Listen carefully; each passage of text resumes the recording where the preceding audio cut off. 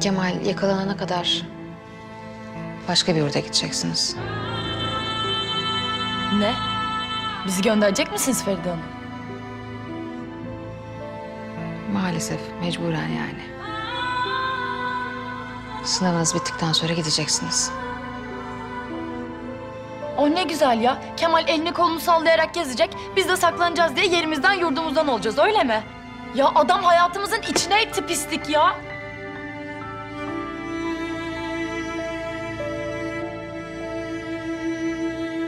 Şey özür dilerim Feride Hanım ben öyle sinirden şey şey.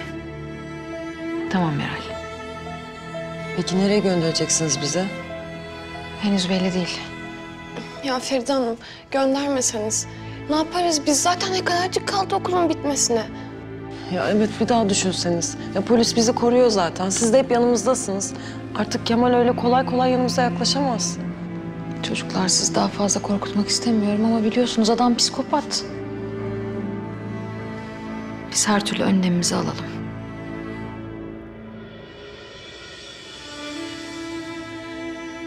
Ben de sizden ayrılacağım için çok üzülüyorum.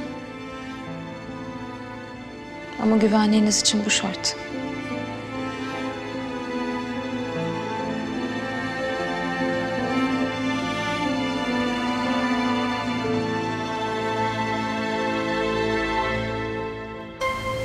Baban sana telefonda anlatmadı mı kızım? Bunda korkacak bir şey yok ki. Anlattı ama Eylül ablayla arkadaşlarımı tanıyorum ben. Çok iyi kızlar. Biz de zaten onların kötülüklerini istemiyoruz ki. Yalnızca ne yaptıklarını bilmek istiyoruz.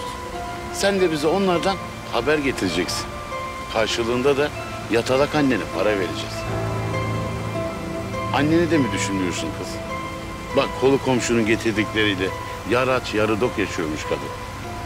Sayende o da el aleme muhtaç olmaktan kurtuldu.